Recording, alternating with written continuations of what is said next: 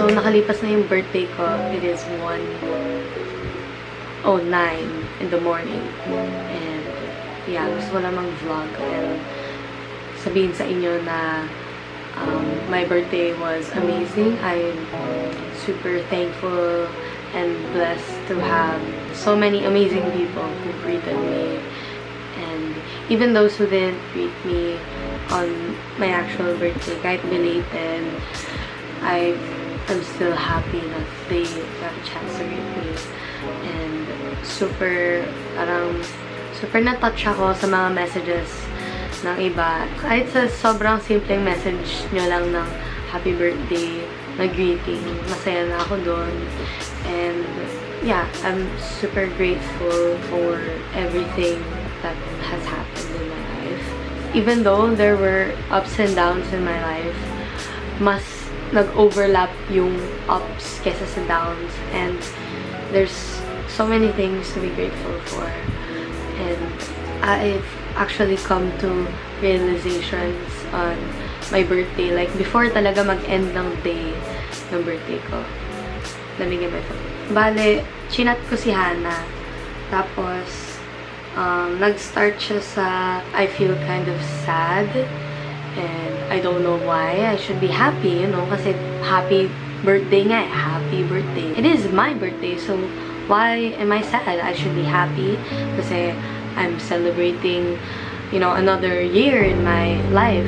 So we came to this conversation about me not knowing what he wants me to do and super, parang super galit ako sa sarili ko kasi parang ang greedy ko because I already have a lot in life. Like, ang dami kong blessings na natatanggap. Not trying to brag, but super dami kong blessings na natatanggap. And yet, parang hindi ako nasa-satisfy kasi parang kina-question ko pa rin siya kung ano ba dapat yung gawin ko because even though alam ko yung purpose ko sa buhay, parang kina-question ko rin sarili ko na tama ba yung pinagagawa ko kasi baka ina-assume ko lang na ito yung purpose ko sa buhay. So, yun, galit ako sa sarili ko because of that.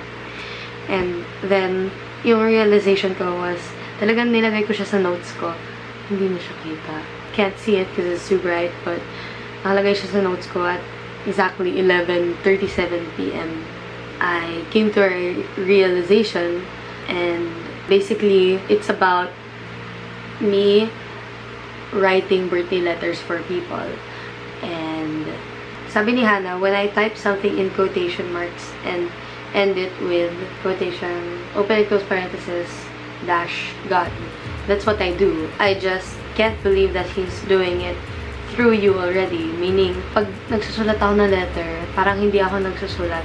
Parang, there's someone taking over me and guiding me na ito dapat yung sulat ko for this particular person.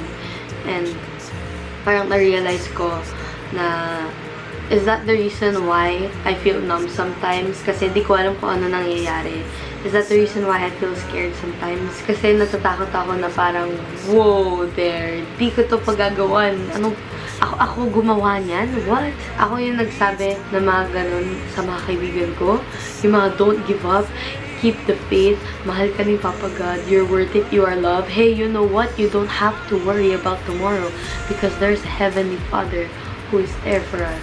Bali, ang sinasabi ko dito is, dun ko na-realize na God already sent me kasi I keep asking him, here I am, send me, send me. Alam niyo yung kapag slow yung wifi niyo, tapos send lang kayo ng send ng message.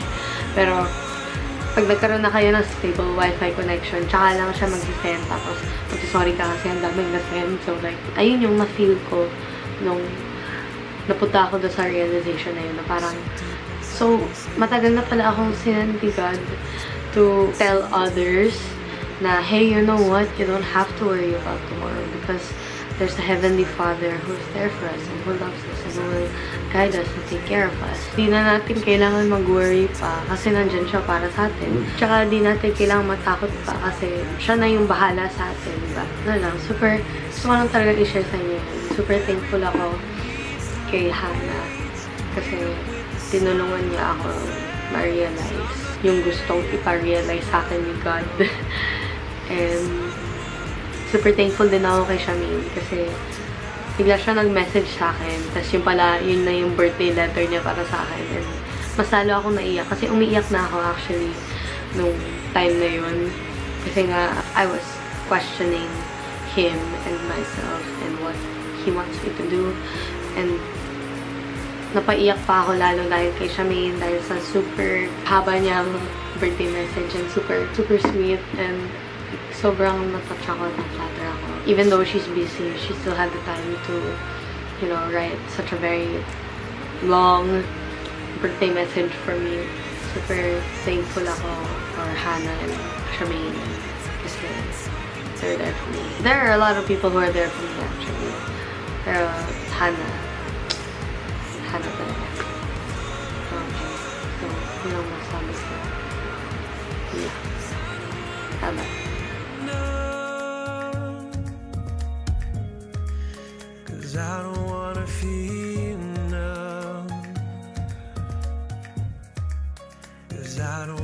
Feel numb.